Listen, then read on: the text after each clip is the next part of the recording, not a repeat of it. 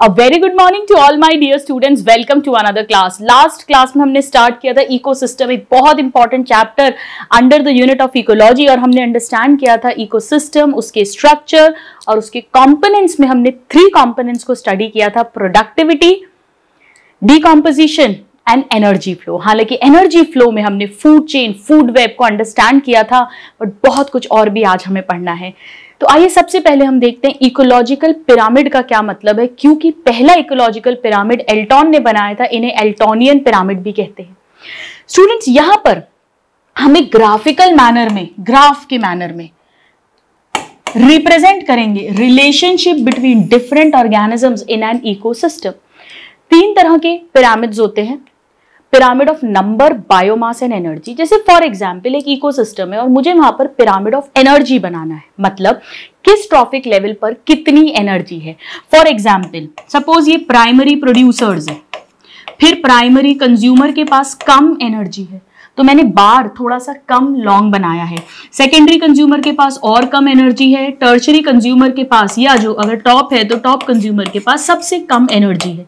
क्योंकि हम जानते हैं एनर्जी टेन परसेंट लॉ को फॉलो करती है।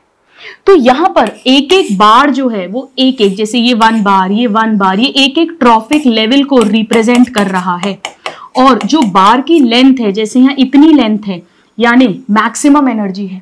यहाँ इतनी लेंथ है तो ये उससे कम एनर्जी है। यहाँ और कम है तो उससे कम एनर्जी है। यहाँ सबसे कम है तो और सबसे कम एनर्जी है। तो बार की लेंथ जो है, वो बताता है कि वो पैरामीटर कितना है। और हर each bar represents a trophic level यहाँ पर नीचे सबसे ज़्यादा, इसे हम बेस कहेंगे और इसे हम अपेक्स कहेंगे।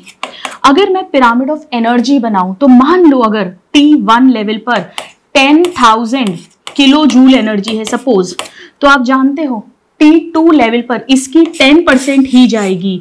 इसकी टेन परसेंट यानी थाउज़ेंड किलो जूल जाएगी या इसकी टेन परसेंट यानी हंड्रेड किलो जूल जाएगी या इसकी टेन परसेंट यानी टेन किलो जूल जाएगी। अब एक्चुअली इसने सन से कितनी एनर्जी ली होगी सोचो। सन से ये वन परसेंट लेता है। मतलब वन से five percent of I S R NCERT के पिरामिड में वन परसेंट माना है तो अपन वन मान लेते हैं, कम से कम। तो मिनिमम इसने वन परसेंट ली है। यानी सनलाइट से कितनी एनर्जी आ रही होगी? बताइए।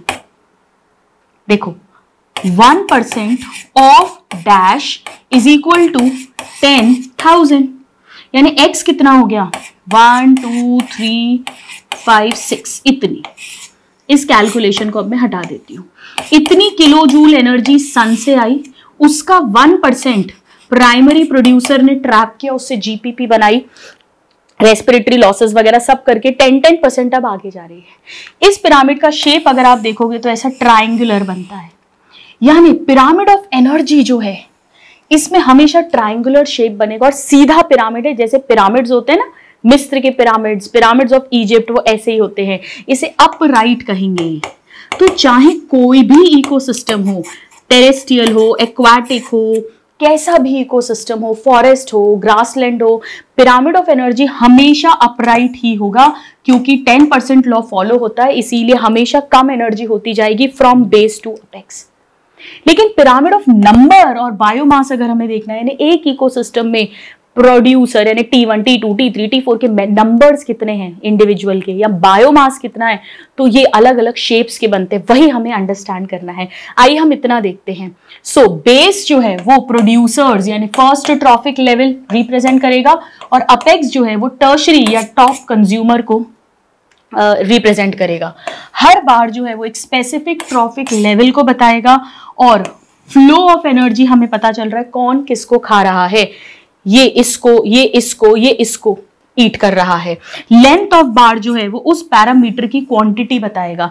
यानी एनर्जी या अगर मैं नंबर बनाऊँगी तो इसका नंबर इसका नंबर इसका नंबर इसका नंबर या बायोमास उस पैरामीटर को। इज़ इट ऑल डन चलो तो पहले हम पिरामिड ऑफ़ एनर्जी को एक बार क्विकली देख लेते हैं। पिरामिड ऑफ़ एनर्जी हमेशा अपराइट होगा, कभी उल्टा नहीं हो सकता है, क्योंकि 10 परसेंट लॉ फॉलो करता है। हर बार इंडिकेट करेगा कि उस पर्टिकुलर ट्रॉफिक लेवल पर, उस समय पर, उतने एरिया में कितनी एनर्जी है? Right so this is the NCERT example ten thousand joules इस पे थाउज़ेंड टेन परसेंट गई, इस पे टेन परसेंट हंड्रेड गई, इस पे टेन परसेंट टेन गई. लेकिन ये one percent of I S R है. One percent of I S R वैसे वन से फाइव परसेंट होता है.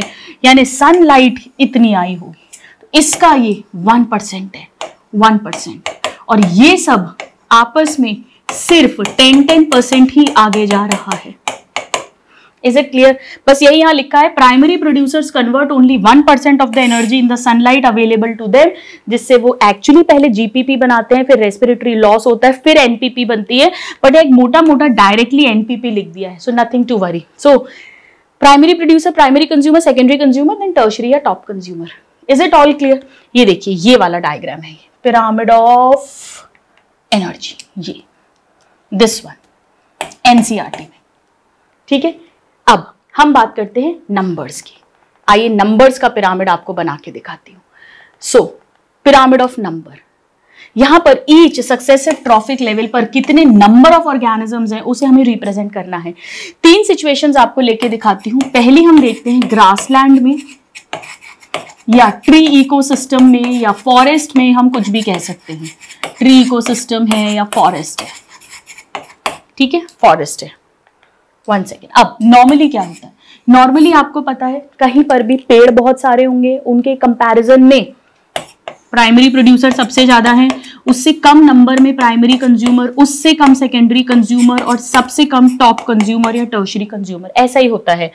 T one T two T three T four है ना? आप इसे ऐसे भी बना सकते हो। ग्रास ये ग्रास हॉपर ये फ्रॉग ये स्नेक और इसमें एक और भी बना सकते हैं अपन टी फाइव लेवल जिसमें पीकॉक या हॉक आ जाएगा। यानी ये भी अपराइट पिरामिड है अपराइट सीधा अपराइट ये तो फ़र्स्ट सिचुएशन हो गई। अब एक सेकेंड सिचुएशन लेते हैं, ठीक है? तो ये तो फ़र्स्ट सिचुएशन हो गई ग्रासलैंड में, या फॉरेस्ट का इकोसिस्टम भी हो सकता है ग्रासलैंड या फॉरेस्ट राइट या ट्री इकोसिस्टम और वहाँ पर ग्रेजिंग फ़ूड चेन्स है। ग्रेजिंग फ़ूड चेन अब, हम एक्वाटिक में देखते हैं। एक्वाटिक इकोसिस्टम एक्वाटिक इकोसिस्टम और ऑफ़ कोर्स हम हर जगह ग्रेजिंग फ़ूड चेन्स की बात कर रहे हैं। अब यहाँ क्या होगा? नंबर की बात कर रहे हैं। सबसे ज़्यादा फाइटो प्लैंकटन्स है। उनसे थोड़े कम नंबर में होंगे जू प्लैंकटन्स उन्हें खाएँगी स्मॉल फिशेस और सबसे कम नंबर में इन्हें खाने वाली होंगी लार्ज फिशेस ठीक है? Primary producer primary consumer secondary consumer tertiary या टॉप कंज्यूमर या T one T two T three T four और ये भी कैसा है? जी हाँ आप समझ गए हैं, ये भी अपराइट है। अपराइट बन गया। तो ये दोनों, ये वाली लाइन कंप्लीट हो गई।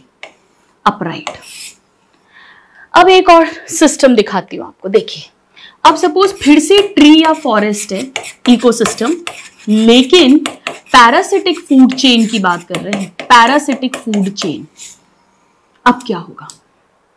एक ट्री है सिंगल ट्री उस पर बहुत सारे नंबर में बर्ड्स हैं।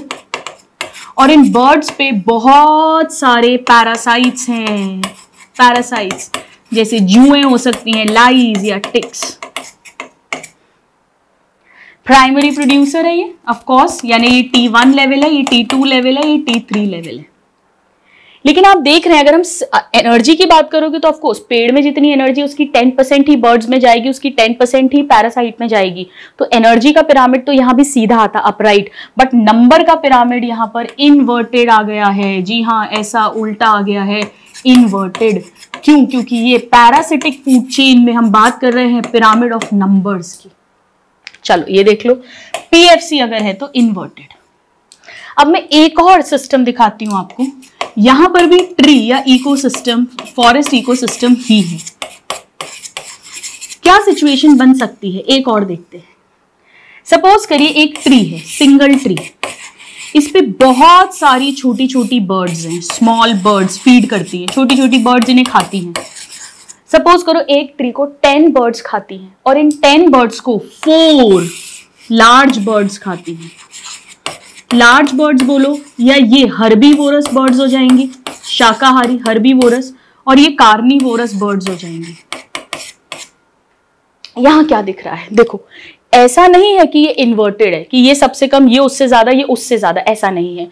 और ऑफ़ कोर्स अपराइट तो ये है नहीं। ये कैसा दिख रहा है हमें? ये लोटे जैसा दिख रहा है, ध्यान से देखिए।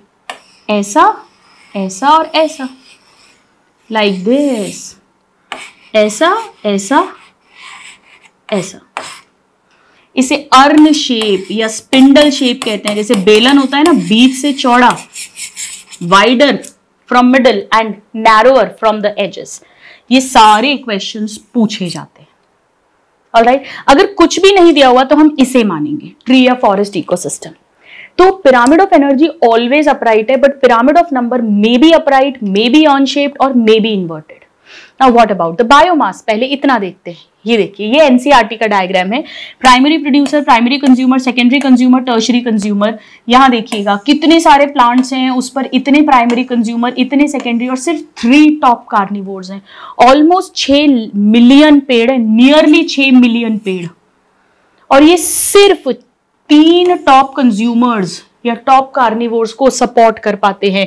ये पिरामिड ऑफ़ नंबर है ग्रासलैंड इकोसिस्टम में।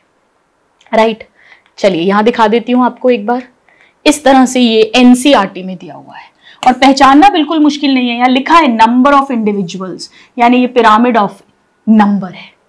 यहाँ लिखा हुआ है जूल यानी ये पिरामिड ऑफ़ एनर्जी है। अब ये दोनों पिरामिड ऑफ़ बायोमास हैं, क्योंकि यहाँ पे ड्राई वेट लिखा हुआ है ड्राई वेट चलिए आइए समझते हैं। बहुत इंटरेस्टिंग है मैक्सिमम कंफ्यूजन यही होता है। अब पिरामिड ऑफ़ बायोमास की अगर मैं बात करूँ तो यहाँ पर हम ड्राई वेट देख रहे हैं, किस ट्रॉफिक लेवल पर कितना है। पहले मैं ग्रासलैंड इकोसिस्टम की अगर बात करूँ तो ये अपराइट ही होता है। ग्रासलैंड या फॉरेस्ट एक ही बात है। फॉरेस्ट इकोसिस्टम में।